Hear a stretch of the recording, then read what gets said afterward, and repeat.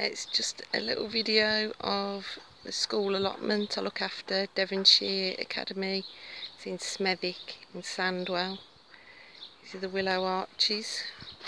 There's a lot of action going on in here because we've got the willow bark aphid, largest aphid in the UK apparently. So there's loads of wasps and other predatory insects around here. Uh, Okay, so got the seven raised beds, various things in. Salsify is a new one, I haven't grown that before, that's germinated okay. Got strawberries, all kids love strawberries. Got the elephant garlic, peas over there. Uh, just a little ornamental beds really. Um, got the broad beans over there. Got more radish in here. Spring onions, red bunching onion. That is elephant garlic. Oh hello. That is Welsh onion. Uh, got beetroot in here. Some so direct some that grew on at home first. This is last year's chard, which obviously we could still eat, saving for the seed. It's lamb's lettuce, which is all going to seed. Um, and I usually leave the clover because it's a nitrogen fixer and just as a kind of a, ground cover. I'll land that black medick over there um, but you have to watch because nature gets cocky, look, and uh, starts growing massive. But you can stay there. Um, oh, this, this, what I was wondering what it was. I mustn't have ever let it flower before. Kept wondering what it was. I know it's flowered. I think it's obviously uh, some kind of speedwell, but it's a bit succulent, see. That's what confused me. So you can see we had torrential rain yesterday. This site's terrible for, um, it's at the bottom of a natural stroke man-made valley. All that wood chip's been washed away, look, up to here. And here, and get the rake out, no? You can see it's all black, that's all the wood chips been washed away from there. Uh, right, four different types of potatoes we've got in here, early, mids and lates. Uh, Charlotte, Duke of York, is that that one over there? Um, Kestrel. Okay. Uh, I've got onions in here, white onions, red onions. Nothing in there yet. I'm going to put the courgettes in there. Um, and something else. uh, runner beans, they haven't long been in. Again, the kids had grown some up in the school, they've planted those, and we put some seed in as well. This bed, I think I'm going to put some, um, I'm going to put the sweet corn in here. But this was brassicas left here, which I've left to go to seed, so I can collect the seed. This is white sprouting broccoli, it's gutted. We would have had really good crops of sprouted broccoli, but um, we had that snow, and the birds had them all.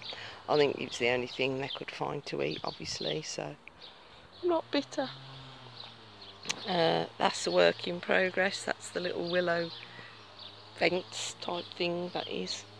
Um, this bed is a nightmare. It's on a massive slope. It caps off really bad and it's clay predominantly. So I've just been working on um, improving uh, the soil really and the below ground ecosystem.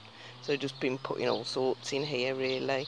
It's hypericum, just various things that have either popped up or um, that I bought down. Foxglove, uh, there's all sorts. We've got various currants that I put in, and the little orchards around this way as well.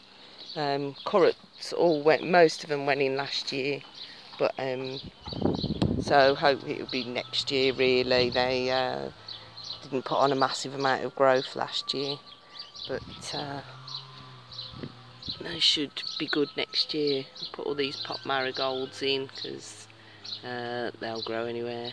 Mullein, uh, some alliums, various bulbs. Uh, So obviously that will self-seed about the place. Ooh.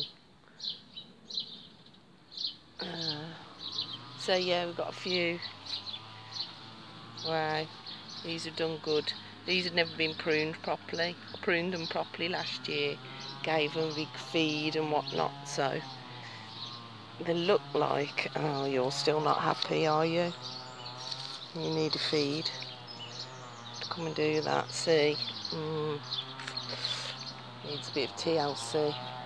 Right, there's more strawberries around here rosemary and then we've got this native hedge that was put in recently uh, this is whole area is still a bit of a work in progress more strawberries down here uh, infested with horsetail this place. Uh, so all the raspberries are along here. Uh, art globe artichokes, uh, mint, apple mint, lemon balm, because it's all over there, I'm gradually getting it out because, you know, it's evasive, sorrel, and sorrel, rhubarb, it's doing pretty good, check that out. Woo! Um, Swiss chard again, that was that's been in two years I think that one. But again, collect the seed, it's not as exciting because it's just green. This little bed is look at check that out. It's all this is really bad for waterlogging around this side. Um, normally with rain that's not too full on it, it, it's fine. I'll put this sump in, but this sump's full. It's, that normally takes care of it. Put the comfrey in recently. See, look how backed up with water this is. I don't know if you can see. There's all there's tadpoles in there. and this we did actually put a bog in because normally with just your average rain it gets boggy here anyway. We put the gunnera in. That's doing really well. Dead chuffed. Uh, other boggish type plants put in the wild garlic that's I can never remember what it's called. Is it kocha a bit like um, blackcurrant the berries are. Um, cranberries they're really happy down here. Soapwort I also put some marginal type plants in here. It's very inconvenient isn't it uh, and there's also there's loads of tadpoles in here if we can get a good view of them maybe this side. We also get this tiny little freshwater shrimp when the water level goes up as well. Oh, all the tadpoles are hiding.